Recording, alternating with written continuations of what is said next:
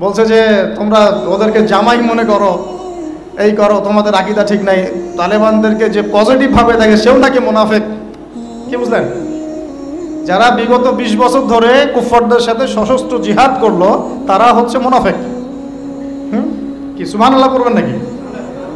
যারা বিগত বিশ, এক বছর, দুই বছর না, বিশটা বছর ধরে খেয়ে না খেয়ে নিজেদের সামর্থ্য অনুযায়ী জালেমদের বিরুদ্ধে যার যা ছিল তাই নিয়ে দাঁড়িয়ে গেছে।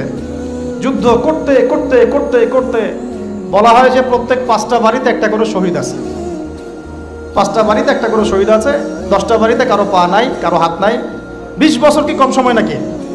অগণিত বম্বিং হয়েছে পাকিস্তানের মাটি ব্যবহার করে, যখন পারভেজ মোশারফ ক্ষমতায় ছিল। ওই জায়গাটাকে সে বেস ক্যাম্প করে দিয়েছিল। যে আমেরিকান বিমান এখানে, এখান থেকে ফ্লাই করবে, ওখানে বোম ফেলবে। আমাদের মুসলিম ভাই ঠিক আছে? ওই যে আল্লামা ইকবাল একটা কথা বলেছেন তুজ্জা এসা দোস্ত তো দুশ্মন কি জরুরত? है? তোর মতো বন্ধু থাকলে আর শত্রুর কি দরকার? এটা আমরাও ফিল করি এই দাওয়াতের মাঠে কাজ করতে গিয়ে তুজ্জা এসা দোস্ত তো দুশ্মন কি ক্যা জরুরত? তো যাই হোক, তো এরকম ২০ বছর যারা একটা জালেম সভ্যতার বিরুদ্ধে যুদ্ধ করেছে, ওরা হয়ে গেছে এখন মোনাফেক। আর এরা হয়ে গেল এখন সহি আকিদার মানুষ।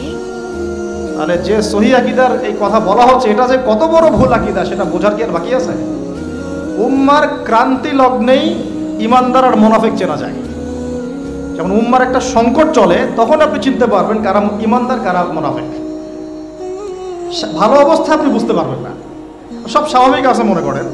এখন আপনি বুঝতে পারবেন না আসলেই কে ইমানদার, কে মোনাফেক।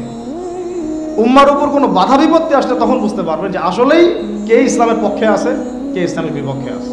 আর কে ভিতরে ঢুকে ঢুকে শয়তানি করতেছে। আমাদের আলোচনার টপিক এটা না। টপিকে আসতেছি। আমি একটা কথা বলতে চাচ্ছিলাম। আল্লাপাক যে আমাদেরকে জিজ্ঞাসা না করেই মুসলিম পরিবারে জন্ম দিয়েছেন, এই নেয়ামতের সুক্রিয়া আমরা আদায় করতে পারব না।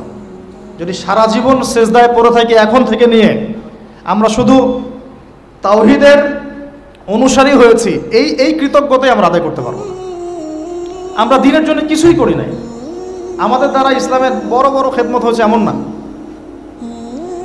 আবু তালেব একা যা করেছেন, আমার মতো একশো জন আবু তাহা তা করতে পারে নাই, পারবে না। এটাই সত্য কথা। আবু তালেব কোন অবস্থায় করেছেন? যখন চতুর্দিক থেকে আল্লাহ নবীকে সবাই ছিছি করছে, গালিগালাজ করছে, হত- হত্যার পর্যন্ত চেষ্টা করছে। পুরো সমাজ একদিকে, আবু তালেব একাই একদিকে। তার কাছে প্রস্তাব দেওয়া হয়েছে, তোমার ভাতিজাকে আমাদের হাতে তুলে দাও। তাহলে আমরা ব্যবস্থা নিব। সে বলছে, আমি আমার ভাতিজাকে তোমাদের হাতে তুলে দিব না। যতদিন না আমার দেহ মাটির তলে না যাচ্ছে। হ্যাঁ তিনি নবী, নবীজিকে গিয়ে বলছেন, তা আমার আমার বৃদ্ধ কাঁধের উপর এত বোঝা দিও না ভাতিজা। আমার বয়স হয়ে গেছে। ওরা তোমাকে বলছে, তুমি দাওয়ারটা ছেড়ে দাও। নবীজি বলছেন, আমার ডান হাতে যদি চাঁদ এনে দেওয়া হয়, বাম হাতে সূর্য এনে দেওয়া হয়, চাচা, আমি দাওয়াত ছাড়তে পারব না। হয় আমি এই পথে দাওয়াত দিতে দিতে আমার এই দিন বিজয়ী হবে, না হলে আমি হালাক হয়ে যাব। তখন কি হলো? তখন তিনি বললেন যে, ওরা তোমার দিকে আসতে পারবে না দলে দলে, যতক্ষণ না আমি আবু তলেব দাফন হচ্ছি মাটির তলে। কথা বুঝতে পারছেন? এখন মূল কথাটা হচ্ছে আমরা যারা মুসলিম পরিবারে জন্মগ্রহণ করেছি, এরপরেও আমরা তাওহিদের জ্ঞান অর্জন করছি না, শিরিক থেকে দূরে থাকছি না, নামাজ পড়ছি না পাঁচ ফরজ নামাজ জাকাত দিচ্ছি না সম রাখছি না। প্রোটেস্ট্যান্ট মুসলিম হয়েছি, Protestant version of Islam follow করছি।